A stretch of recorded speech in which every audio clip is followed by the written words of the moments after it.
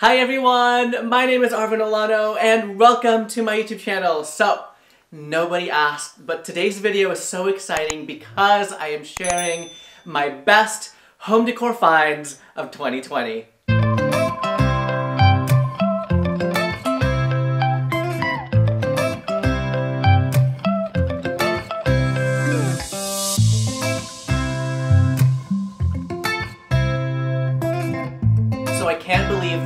Is almost over, and while I was walking around the house last night, redecorating, shuffling all the things that I have, I was really inspired by all of the beautiful things that I found this year from Home Goods, Target, Vintage, Antique, you name it. And I thought I would compile all of my favorite finds, my best finds, in one video. That way you can get inspired to seek for your own treasures. Let's just get started. I don't need, ooh, what should I start with? Wait, hold on, hold on. Hold on, I need to sip my tea for this. Um, mm. I need some energy. Mm. Okay, so the first item on my list, ah! you guys, we are taking it way, way back to my very first, I don't know why I just did some squats. we are taking it way back to my first Home Goods Shop With Me video where I found this Aerin Michelena lamp and whew, you have to comment down below if you watched that very first video because when I saw this lamp in the lamp section, oh she's a little dusty. She actually, uh, she's usually on my nightstand, but if you can see how massive she is compared to me, um, just for size, I am 5'3", 5'4", on a good day, okay? It's massive. Now, this lamp is still selling online for about like $900, and I found it at Home Goods for about 200 which I still think is kind of expensive for a lamp, but this is like, this is luxury, you guys. This is a designer lamp. The details, it looks like a raw, like ceramic, some sort of stone, brass base, and the shade, honey. No tea, no shade, but this shade is luxurious AF, okay? Period. And this this lamp inspired my whole entire series of Home Goods Shop With Me's on my channel. I actually only found one in the Home Goods that I was at, and I was telling Andrew, I was like, babe, we have to go to Summerlin, which is like another 20 minutes away from this Home Goods, which is really far from our house, and I remember he was like, I am not driving all the way over there for a lamp, but I knew that they were gonna have the pair in the Summerlin location, and we drove there, and whew, the first thing I noticed when I entered the door was my lamp. So obviously we grabbed it. You'll only come across these kinds of items like maybe once a year, okay? They are rare, they are so good. My next best home decor find from 2020 is actually this Louis Vuitton book. Now, Mm. Mm. I also found this at Home Goods earlier this year for about 50 or 60 dollars. Now, if you're into interior design, you would know that this book is very popular. She's coveted. She's a really good book, not only for inspiration from like Louis Vuitton's brand, but she's expensive. Online, she'll sell for about 90 to $120. So I found her for 60, okay? And if you follow me on Instagram, which is at Arvin Olano, I'm constantly sharing deals and sales on books like Louis Vuitton, Tom Ford for like half the price. I think they're all sold out now, but if you follow me on the grams, you're not gonna miss out if you're looking for a designer book. Oh my gosh, I just scared Marble. Sorry, Marble! I'm sorry. My next best home decor find is this lampshade. Now, it may look like a regular lampshade, okay? But it's not. It's actually handmade in Turkey and it's one of my favorite finds because it is so unique. When you try to find like rattan lampshades, they're either one, too expensive, they're not gonna fit like your modern lamps, and I just couldn't find a vintage piece that was this size. They can actually custom make the size for you. I mean, just look at that craftsmanship. It's just, it's incredible. I'm gonna link his shop down below. Um, I know a few of you have already ordered this piece, so if you haven't, make sure you tag me, okay? Tag me on socials. And they also have an Instagram page, so make sure you follow them. I've actually been kind of going back and forth with the shop that I got this from because I kind of want them to make me a custom piece for some wall sconces. Can you imagine little rattan wall sconces? Whew. I feel like I've developed my design language this entire year and rattan pieces are like one of my signature. It doesn't matter if it's modern, boho, I don't care. I'm gonna add something rattan in there because to me it just just takes me back to the Philippines. Like I think that's why I am so gravitated to anything rattan.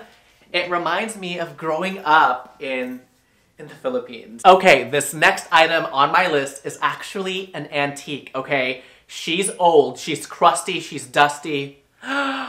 you guys, this, hold on. I need to, oh, okay. Stay, stay, okay? This is an antique 19th century Turkish vessel. Need I say more? I mean, the way she like leans and tips over to the side is so cute. Her patina is just everything. And actually, like, when I look inside, like, she's been through something. She's been through it. I actually kept the tag inside, okay, because I have a story to tell you, just like all of my pieces, okay? Are you ready? This was the original price of this piece. $850. Now, obviously I did not pay $850 for this because when I was walking around the antique malls, okay, it like stopped me in my tracks. I was like, oh, wait a minute. this vessel is perfect. I looked inside, looked at the price, I was like, no. But the seller, okay, of the booth was actually there. By the way, do I look like I'm naked? I'm wearing like these camel tone pants. Anyway, the seller was there and I was like, hey, like, what's the best price you are willing to let go this item for? And I remember I was like, ugh, I don't know if he's gonna like give me like a really good deal, um, you know, because it's so expensive. And he was like, I'm actually leaving my booth really soon, so all of these pieces are just gonna end up in my garage. Just give me an offer and I'll, you know, I'll, I'll let you know. So in my head, I was like, the most I want to pay for, you know, this vessel, which is huge, by the way, okay? Look at it in comparison to my head, okay? Head test. She's big. I said, are you willing to let it go for $150? He looked at me. I looked at him. He looked at the vessel. And he said, yes! Ah! oh my gosh! I was so excited. I texted my mom. I texted Andrew. I was like, babe, look what I got for 150 okay? Can you imagine paying $850 for this antique? No. All right, this next item is a vintage abstract alabaster vessel from Italy. And whoo, you guys, when I found this piece, my mouth dropped to the floor, okay? It is so stunning. I actually don't know like the entire history behind this piece. I don't know how old it is, but judging by like the patina on the vessel, let me show you. It has like a little spout there and it's just like it I mm.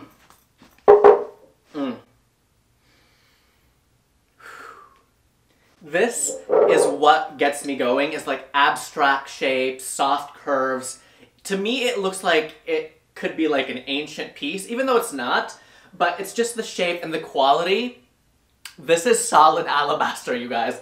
It is so heavy, and it's just something that you're not gonna find anywhere. You know what I mean? When you go for vintage, you're really getting a special, one-of-a-kind piece that only you are going to have. I believe she was around a hundred fifty dollars. She's a little expensive, but it's because it's a vintage stone.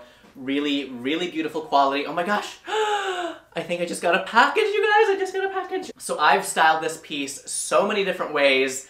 I've done it on a coffee table, console table. I've even styled her up like turned sideways, okay? She's fabulous.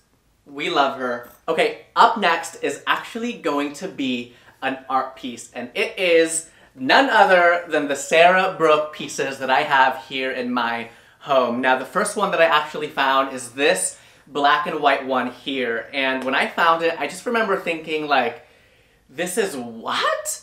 This is how much? I think it's around 250 for these large, like, five by six pieces from Sarah Brook, and I also found this, if I'm not mistaken, my very first shop with me video. And it's moved around a million times around my home. It's been here in my studio. It's been in my living room. It's been in my bedroom. And that's why I love like really large art pieces because it makes like such a beautiful statement. And okay the next one is actually the same exact Sarah piece but in the square white and gray version. I think they're titled Adrift. Now these are reproductions of her original artwork. You guys, they are huge, okay? They are so well made, and I'm convinced that I made these art pieces go viral on social because before I started talking about them, no one really even knew who Sarah was, okay? Who's Sarah? Who's she?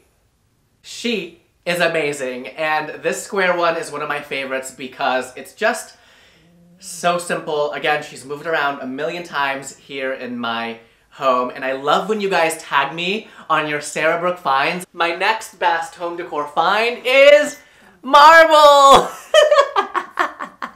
oh, I love you, little boy. Okay, can we can we agree that marble matches my um, home decor in my house? I mean, look at his beautiful black and brown color. Marble, you are so aesthetically pleasing.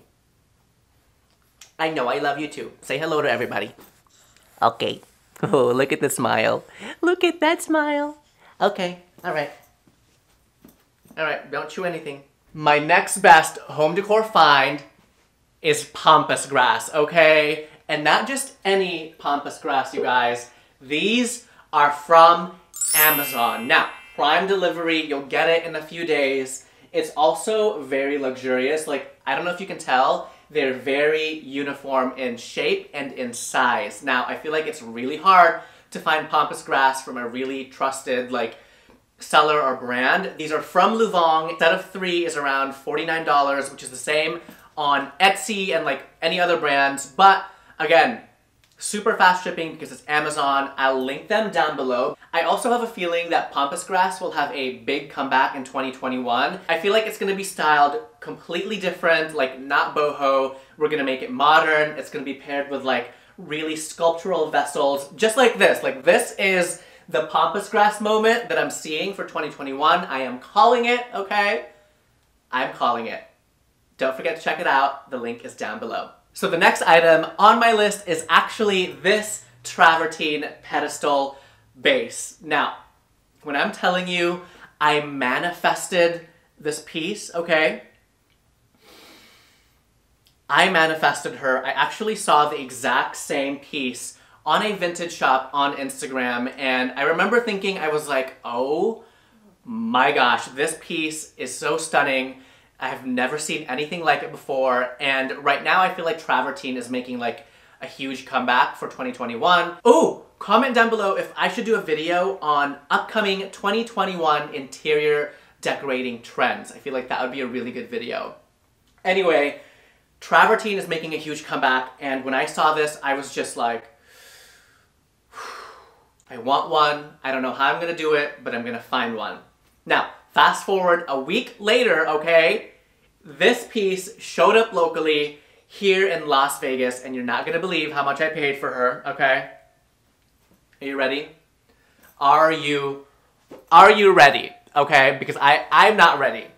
I paid a total of $100 for this piece, and literally the day after, a friend of mine sent me a listing on First Dibs for the exact pedestal for around 3000 Talk about a good ass find, okay? Period. Okay, this next one, are you ready? oh my gosh, this next item is actually a vintage Peggy Mach sculpture from the 1970s, and you guys, I don't think I've ever talked about her properly here on YouTube. I found her in a local antique mall and I only recognized it because I've seen it in Athena Calderone's Brooklyn Brownstone. And you guys know, okay, it's not a secret that I take a lot of my design inspiration from the vintage finds in her home. And when I found her, I literally lost my shit. I was like, what is happening? Okay, this is just, first of all, she is heavy. She's in great condition, okay? She's solid stone.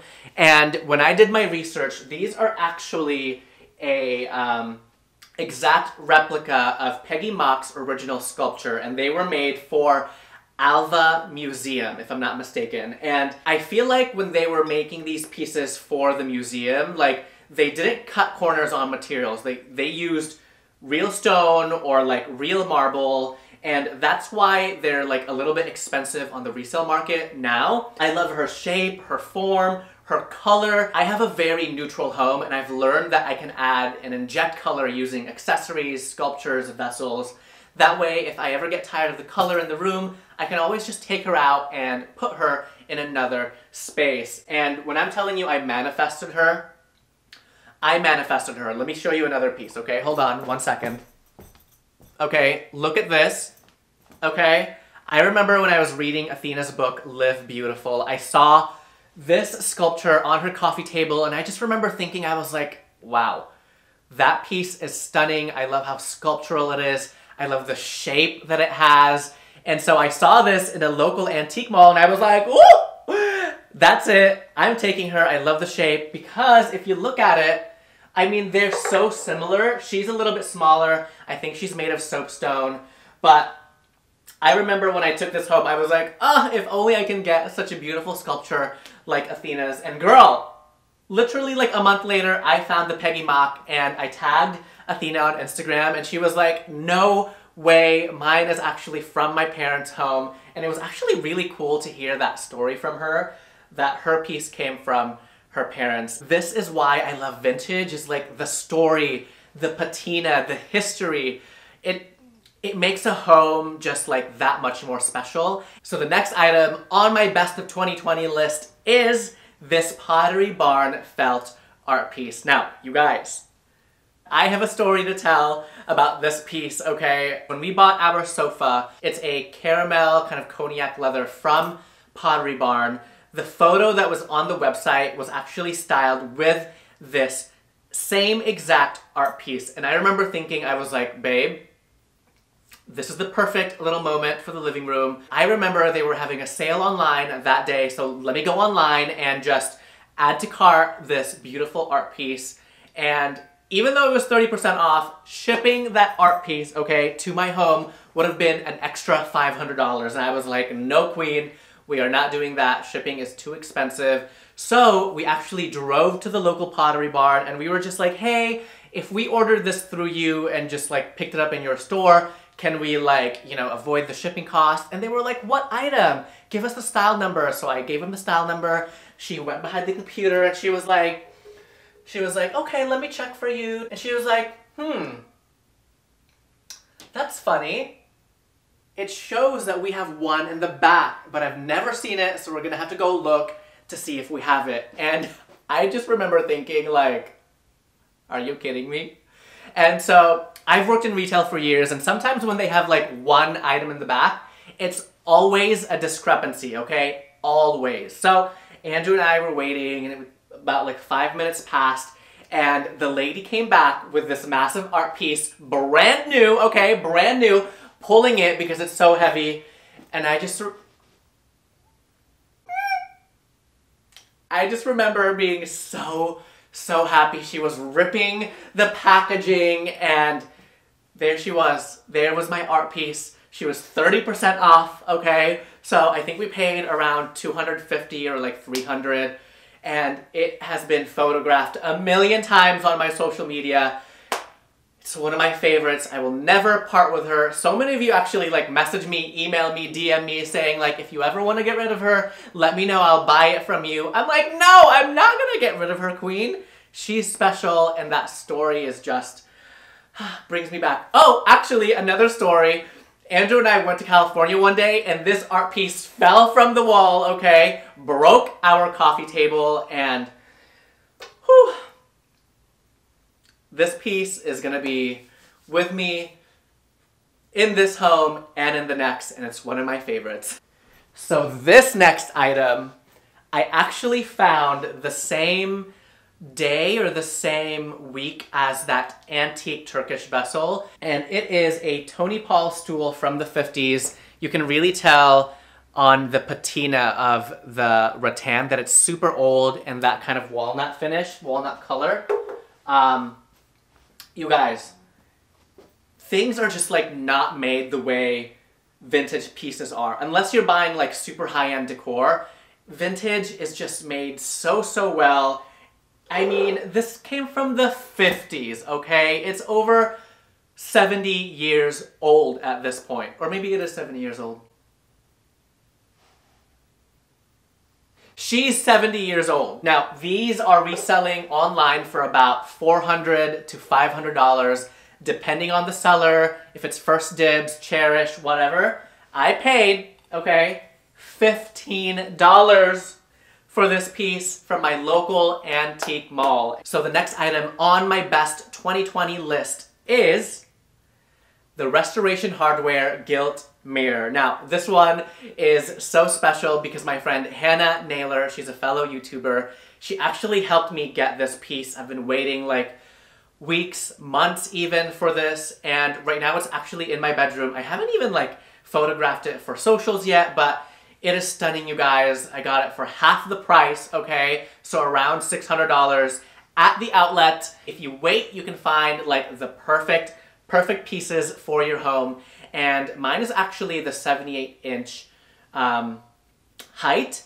And I will admit, now that we've had it for like a few weeks, Andrew and I actually want the 10 foot version because our ceiling, our walls are actually really tall in the bedroom. We are keeping a lookout for the 10 foot version and I think I'm gonna move the smaller one here in my studio. So up next on my best of 2020 list is this paper mache bowl from Centered Style, okay? She is really stunning. First of all, she's massive. She's, I think, 15 inches in diameter. So let me just head test, okay? Head test. As you can probably tell, I love home decor pieces that are big and large and can stand on its own. I'm really kind of building this collection. Not only is it the most affordable price, okay, that I've seen on these bowls, usually they're like $100 and up anywhere else. Centered Style has it for around like 68. I'm gonna link all of their channels and their links down below because you have to get your hands on one of these before it sells out. I have it sitting in my coffee table. It houses my remotes. I've used it as decor on shelves, on pedestals, on console tables, you name it. She's versatile, she's good. The next item on my list is really special and it is the Arvin mini stool from Salt Air Vintage. Now, you guys, this is a primitive Chinese elm stool and Salt Air Vintage actually named it after me, you guys! I'm freaking out. Like, I've never had a product named after me, okay? And they told me that you guys actually sold out their first launch of these mini stools. I just want to thank each and every one of you if you've purchased anything through my links from small businesses like Salt Air Vintage because you are truly supporting someone's dream and that is just, it is so special. Like yes, you can buy things from Home Goods and Target and whatever else, but when you're buying something like this, it's just it's going to make you feel good inside. And I hope you continue to support these brands that I um, rave about here on my channel. So the last item on my best of 2020 list is actually this Jaipur living rug that I found from Home Goods literally like the very first week of January. It could have been February. But this rug is so special to me, you guys, because not only is it the most amazing hand-knotted wool quality rug, color palette, pattern, style, print. It connected me to Jaipur Living and I was able to do a dream collaboration with the brand and to me that's just like It is so crazy that I started this channel sharing my home decor finds from Home Goods to now turning it into a full-on business. And it's all thanks to you, your support. Thank you so, so much for watching my videos and coming back and chatting with me on the comments and tagging me in your stories. It means the world to me. So I hope that you have a wonderful holiday and a happy, happy new year.